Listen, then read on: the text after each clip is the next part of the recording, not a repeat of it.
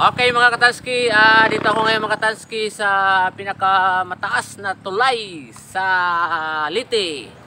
Ang tinatawag na Agas-Agas. Agas-Agas Bridge.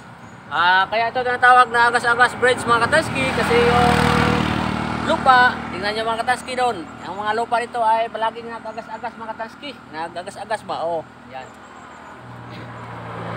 Ito yung pinaka mataas na tulay mga katanski dito sa Liti. O eh, siguro sa ano sa buong Pilipinas siguro mga katanski ito yung pinakataas na tulay.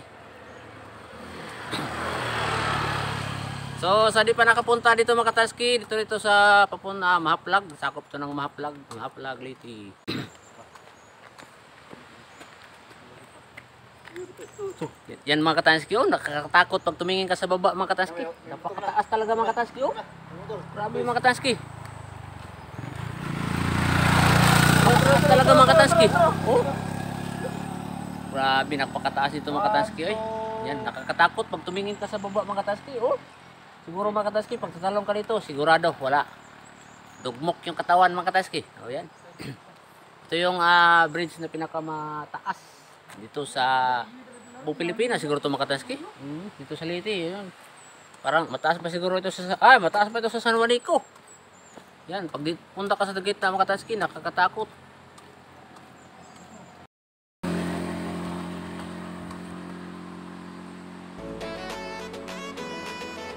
Yan mga katanski oh. Yan yung baba mga katanski. Yan.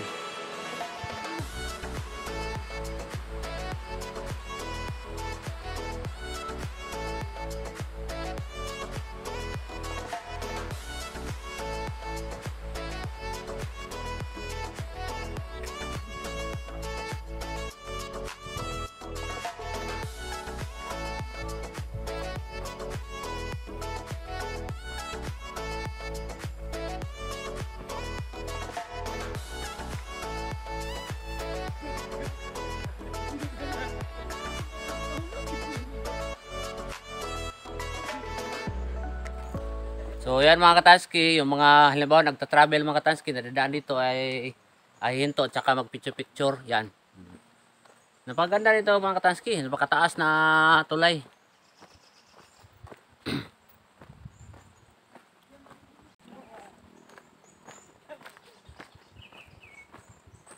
Kasama ko dito mga si Boss Samson. Yan, ito boss. Anong sa tingin mo boss? Naka, matakot parang hiyak yung tiyan natin. Huwag tingin tayo sa baba. Yan, boss. Oh, Ah, Gigilok yung tiil. gigilok yung tiil natin.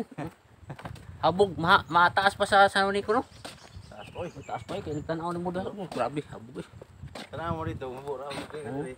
Dito, sa mga tunga, grabe yung tanaw ng musumpos. Habog ay. Wala, eh, Nagigilok yung tiil. Gilok kayo, gilok kayo sa, ano? Gilok sa tilaok. Mm.